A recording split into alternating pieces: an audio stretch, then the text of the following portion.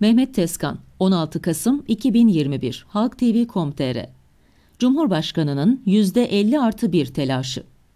Cumhurbaşkanı kendi adına çok akıllı bir iş yaptı. Ne de olsa siyasetin kurdu. Saadet Partisi Genel Başkanı ile görüşürken sistemin tıkır tıkır işlediğini, ülkenin dört dörtlük olduğunu, tek sıkıntının %50 artı 1 olduğunu söyledi. Ülke yönetimiyle, ülkenin bu haliyle bir parantez açayım kimi uçuyoruz diyor, kimi batıyoruz diyor. Siz ne diyorsunuz?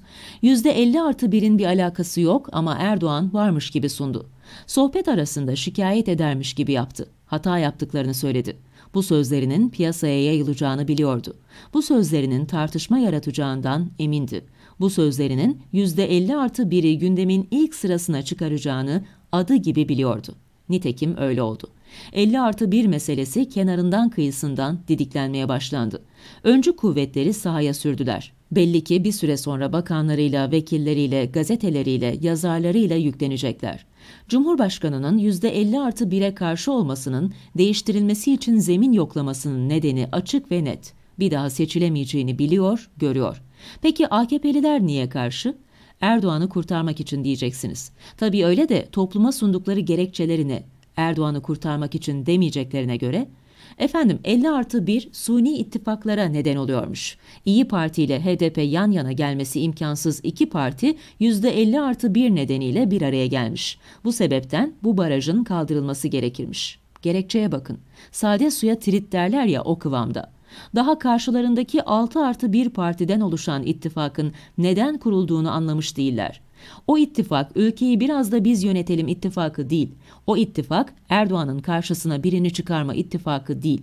O ittifak Erdoğan karşıtlığıyla kurulmuş ittifak değil. O ittifak rejimi değiştirme ittifakı. O ittifak demokrasi ittifakı.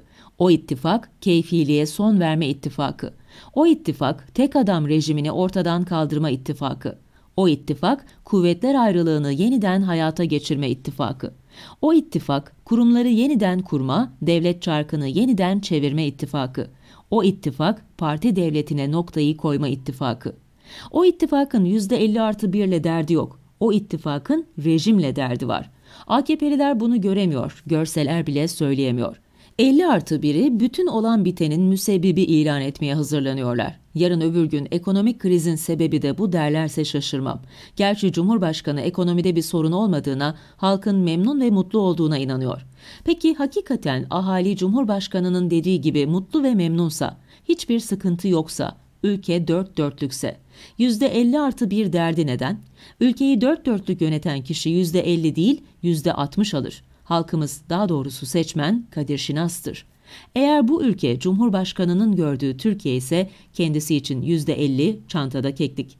Eğer bu ülke muhalefetin anlattığı Türkiye ise %30 bile zor.